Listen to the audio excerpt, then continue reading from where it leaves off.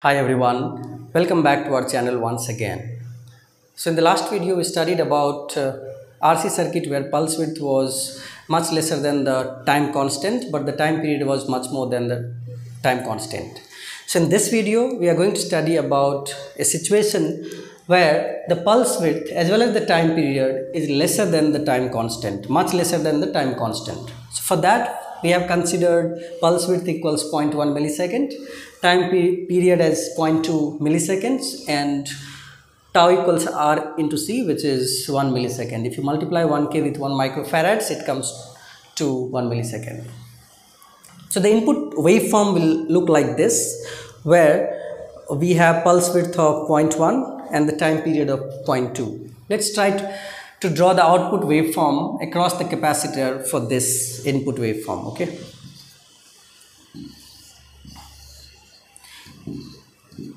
Here since time period is much lesser than tau and the pulse width is also much lesser than tau, the capacitor will neither charge completely nor discharge completely. So the condition for this circuit we can analyze is the capacitor will not completely charge because the pulse width Wp if you recall from the last lectures what we can say is the pulse width must be much more than the tau to completely completely charge the capacitor.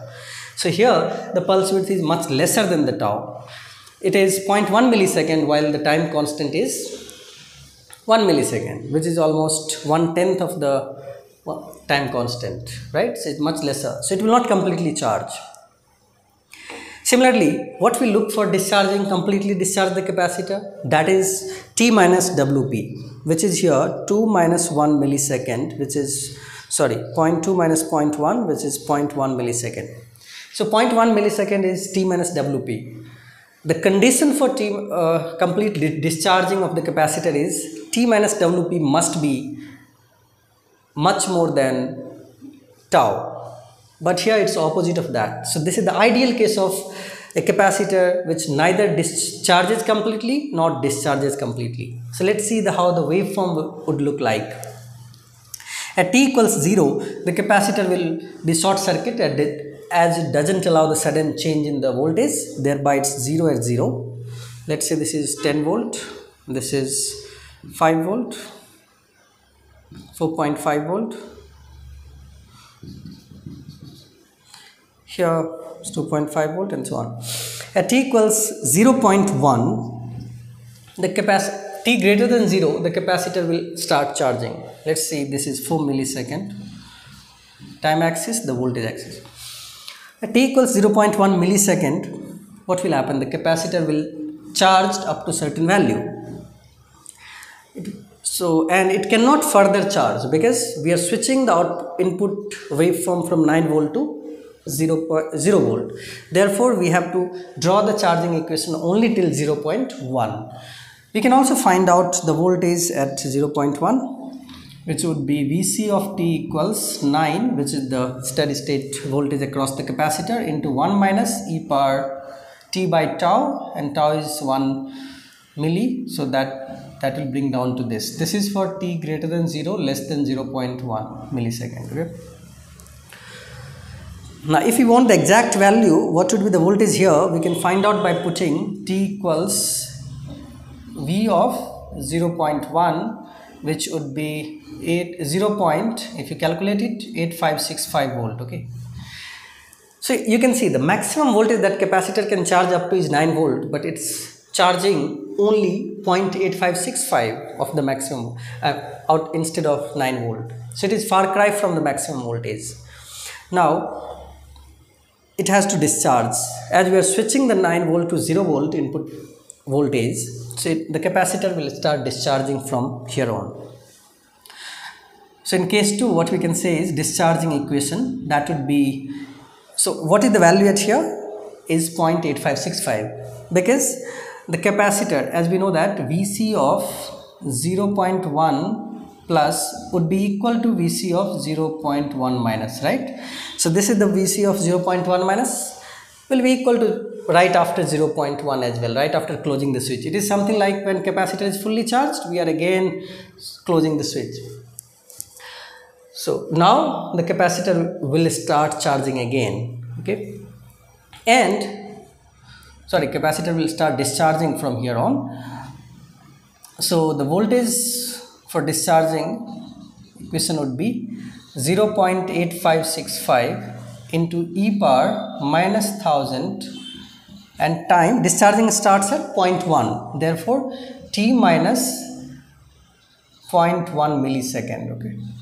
So this is the voltage for t greater than 0.1 but less than 2 because discharging happens only till 0.2 right after that the capacitor will again start charging. Because we are again switching the input voltage to 9 volt so charging this point is how much? It is 0.8565 then it discharges to some value. We can find out that value as well. Here then it discharges till here. And then again charges. And then discharges. Okay. So this value is the voltage at point 2 millisecond right? So if i put here t equals 0.2 millisecond here then we can get the voltage at 0.2 so vc of 0.2 minus 0.2 would be if you calculate it you will get somewhere near 0.775 775 okay? So this is the voltage at 0.2 so it will again start charging from 0.775 and go up to certain value. Definitely more than this okay now to get the next if i want to get this voltage what is the very first pulse of the next period? To get that we have to write down the charging equation once again at 0.2 millisecond. So a charging equation at 0.2 millisecond would be vc of t equals we can apply this formula. So v of infinity is 9 now v of 0 instead of 0 here we have 0.2 milliseconds. And 0.2 millisecond we have 0.775 so what we can do is 9 plus 0 v of 0 so 0.775 minus v of infinity which is 9 okay into e power minus t by tau. Okay.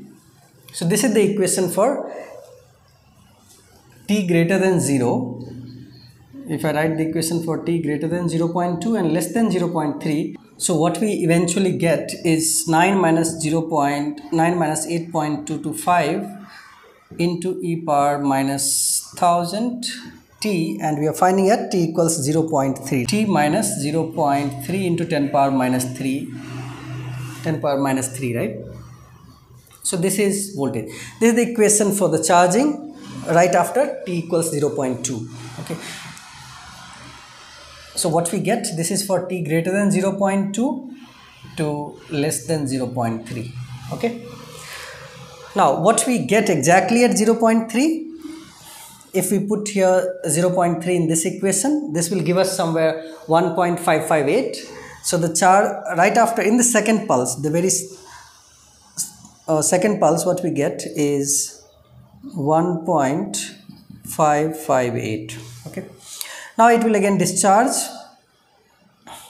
and then charge discharge it will keep going on. We get something like this.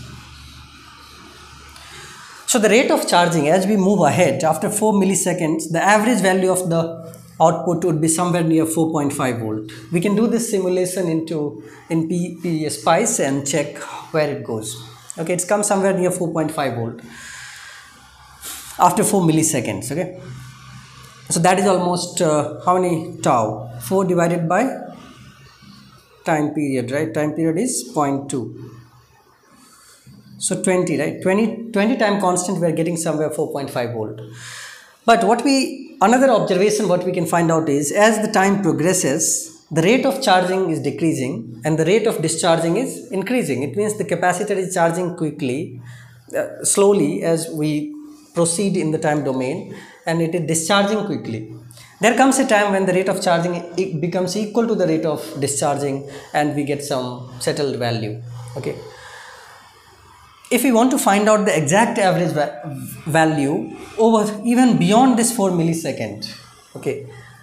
We can do that by multiplying the voltage across capacitor which is vc into into the pulse by the ratio of pulse width by time period okay so this will give us the exact uh, average value. Okay how much time it takes to completely settle down. Okay. So that's all about this video. Hope you found this video insightful. Stay connected. Thank you